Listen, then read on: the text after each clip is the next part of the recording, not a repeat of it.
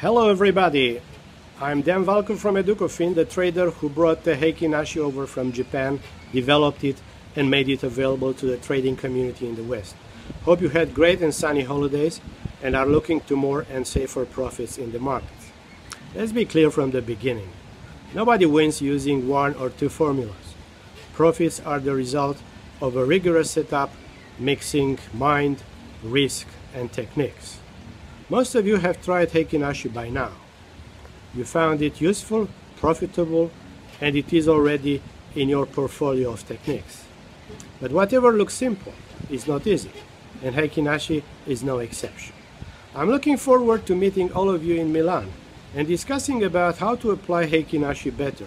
Since the time Heikin Ashi became public, many ideas came up, but all I know about them is that they have a problem. It's called lag and lags are very dangerous because we don't know what's around the corner.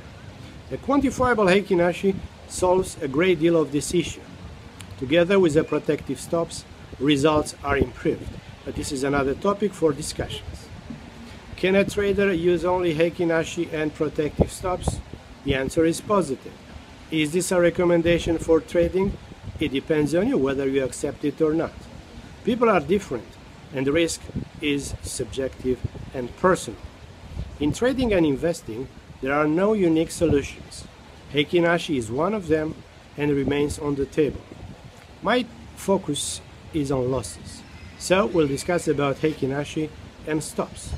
My other focus is on anticipations of events. Heikin Ashi is great when we deal with warnings, positive or negative. Realism in trading is another spot I focus on capital, mental preparation, and uh, risk management. All these variables complement entries and exits. Unfortunately, many are ignored. We'll also talk about forces that always, and I repeat, always, are against you in trading with or without Ashi. I'm looking forward to meeting you in Milan, expecting a constructive dialogue sharing experiences, good or bad, about Heikin Ashi. Take care and have a safe return to your business and markets.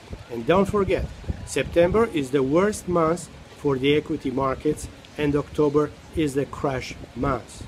See you soon in Milan and uh, arrivederci a tutti.